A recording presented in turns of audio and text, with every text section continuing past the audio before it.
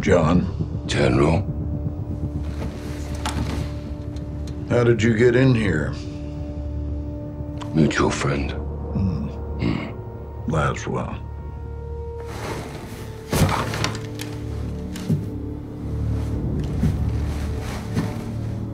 You're better than this, Captain. Hmm. We both will. This job is about making sacrifices for the greater good. Agreed. You got a body count of your own, John. It'll come back to haunt you. Oh, I am not gonna beg for my life. Not from you or anybody else, Captain. Wouldn't do you any good.